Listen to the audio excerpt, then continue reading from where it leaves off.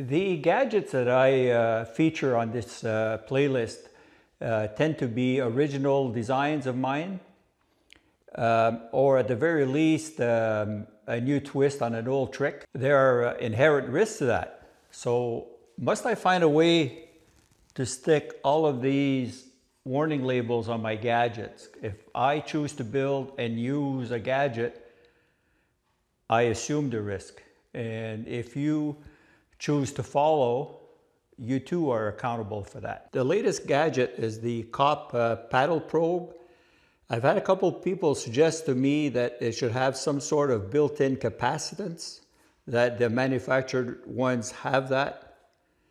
Uh, if so, those capacitors and those manufactured ones are the highest priced capacitors I've seen. I'm choosing not to put capacitance and, and I'm choosing to keep the build simple.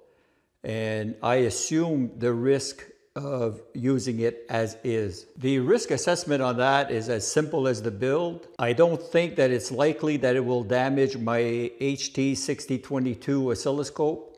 But if it does, I'm out 75 bucks. Hey, where's your sense of adventure? Take a fucking chance, will you? But there was another concern raised about the COP paddle probe that I was a lot more sympathetic to and a lot more open-minded about finding a solution to.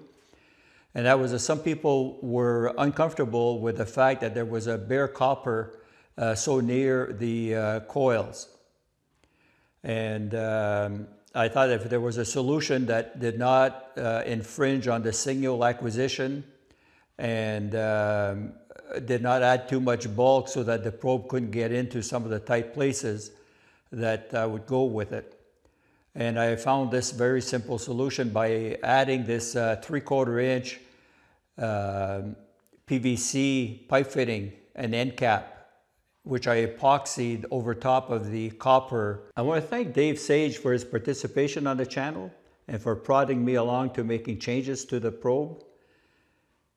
Dave has a uh, website where he does some very interesting things to uh, miniature engines.